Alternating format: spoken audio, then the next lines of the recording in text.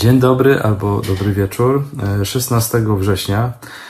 Pozdrawiam Was hasłami, które na dzień dzisiejszy są zapisane i są to słowa z Księgi Izajasza z 50 rozdziału. Wszechmogący Pan pomaga mi, dlatego nie zostałem zhańbiony. I z Ewangelii Mateusza z 14 rozdziału. Piotr widząc wichurę zląkł się i gdy zaczął tonąć zawołał mówiąc Panie ratuj mnie oraz słowa księdza Alfreda Jagódzkiego siłą napędową łodzi kościoła ekumenii diakonii jest powiew, tchnienie Ducha Świętego. Fale symbolizują ludzkość, świat, w którym żyjemy. Tam jest miejsce, tam jest zadanie, jakie Jezus wyznaczył Kościołowi.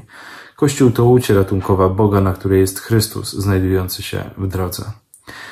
E, moi drodzy, chciałbym tak e, na początek tygodnia odnieść się do słów e, o strachu, które akurat tutaj są użyte w kontekście apostoła Piotra i tego momentu, w którym chce pójść za Jezusem w jego ślady, chce chodzić po tafli jeziora, no tutaj przychodzi wichura i pojawia się strach, pojawia się zwątpienie.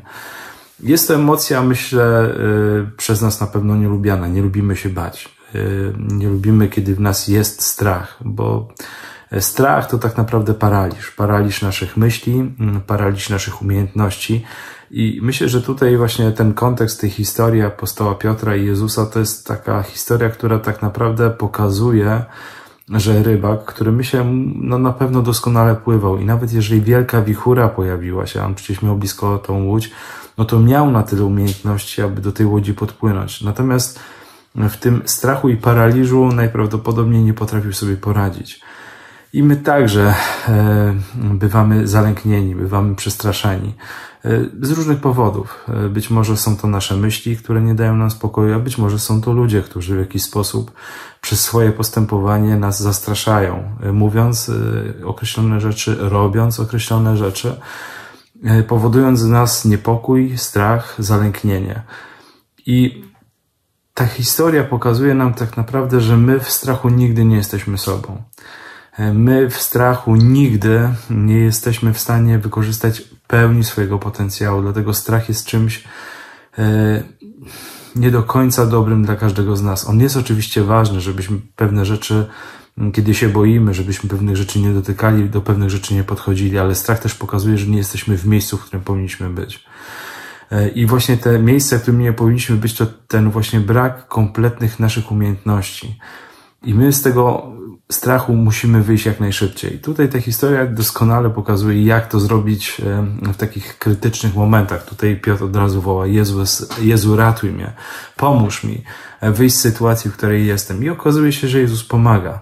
I myślę, że tutaj jest taka nauka dla nas przede wszystkim, żebyśmy mieli świadomość tego, że e, być może dzisiaj jesteśmy w strachu, być może y, z tym strachu jesteśmy e, już od dłuższego czasu ale przychodzi taki moment, w którym trzeba powiedzieć stop. E, mam pewne swoje umiejętności, mam pewien kontekst życia, w którym, e, w którym nie bałem się i wiem, że podejmowałem dobre decyzje, czy podejmowałam dobre decyzje i muszę do tego momentu powrócić. Być może dzisiaj nie masz siły zrobić to sam albo sama. Być może dzisiaj potrzebujesz siły i właśnie w tym momencie właśnie Jezu, pomóż mi wyjść z sytuacji, w której absolutnie nie czuję się sobą, w której e, nie jestem kompletny, w której nie mam umiejętności, które normalnie mam.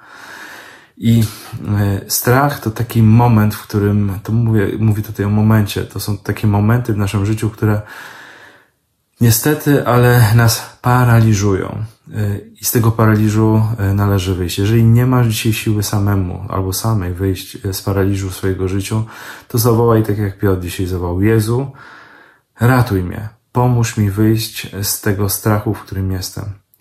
Bo jeżeli on a wyciągnie do ciebie rękę, to będziesz miał i będziesz miała świadomość tego, że idziesz ku dobremu. I być może to nie będzie wcale taka sytuacja, w której będzie wszystko idealnie, ale y, żyć w strachu nie jest możliwym na dłuższy, na dłuższy etap. My zawsze nigdy nie będziemy w strachu sobą. Nigdy nie będziemy podejmować dobrych decyzji i nigdy nie będziemy, nigdy nie będziemy potrafili wykorzystać kompletu naszych umiejętności. Dlatego w strachu nigdy nie da się żyć. Strach trzeba pokonywać.